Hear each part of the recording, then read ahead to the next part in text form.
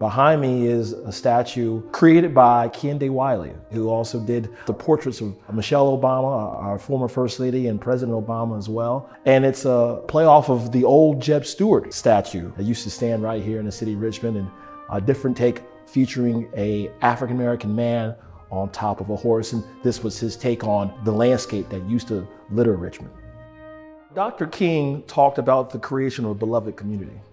And the symbols of Confederate monuments don't represent the beloved community at all.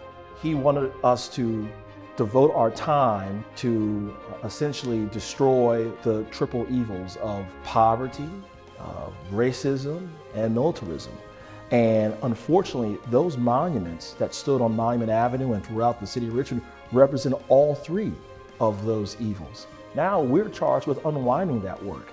And it is obviously slow progress, but the removal represents progress. Progress, I think, is aligned with what Dr. King wanted for communities like ours.